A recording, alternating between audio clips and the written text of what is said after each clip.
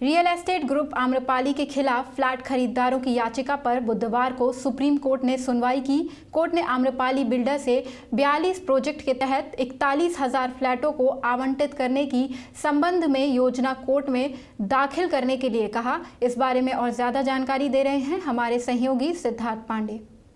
दिल्ली के पास अमरपाली ग्रुप के जिन लोगों ने घर खरीदे हैं, उनके लिए आज एक उम्मीद की किरण। सुप्रीम कोर्ट ने कहा कि इकतालीस हज़ार परिवार जो हैं, जिन्होंने घर बुक किए थे अपने अमरवाली, अमरपाली प्रोजेक्ट में, उन्होंने पूछा कि कंपनी जो है क्या कदम उठा रही है ताकि लोगों को अपना घर मिले। दरअसल कंपनी ने अपने आप को दिवालिया घोषित किया था और इसके तहत नेशनल कंपनी लॉ ट्राइब्यूनल ने कहा था कि सारी सुनवाई जो है, वो खुद करेगी और देखेगी कितना पैसा बैंक को वापस देना है जो लोन लिया है कंपनी ने बैंक को और उसके बाद जो है जो पैसा बचा कुचा रहेगा, वो लोगों तक पहुंचेगा। दरअसल याचिकर्ताओं का कहना है कि वो भी उनको भी सेम दर्जा देना चाहिए बैंक के जैसे, क्योंकि उन्होंने अपना कमाया हुआ पैसा लगाया है इस प्रोजेक्ट में और उन्हें या तो घर दिया जाए या अपना पूरा पैसा जो है इंटरेस्ट के साथ वापस मिले। सुप्रीम कोर्ट ने आज कहा कि उनका एक ही मकसद है कि लोगों को जो घर उन्होंने बुक किए हैं, वो घर उनको कैसे मिलेंगे, यही सवाल उन्होंने आज कंपनी के सामने रखा और ये कहा कि कंपनी पूरा अपना एक प्लान बना के बताए सुप्रीम कोर्ट को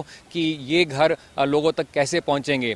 दरअसल लोगों का डर ये है कि अगर बैंकों को पैसा पहले मिले तो कोई पैसा नहीं बचेगा। जो पैसा उनको मिलना चाहिए और ये पैसा बैंक तक पहले चले जाएगा कंपनी के द्वारा। सुप्रीम कोर्ट ने हिदायत दी है कि अभी जितनी सुनवाई होनी है इस केस में, अब सुप्रीम कोर्ट में ही होगी और अगली सुनवाई इस केस में 21 फरवरी को होगी। नई दिल्ली में सिद्धार्थ पांडे, गो न्यूज़।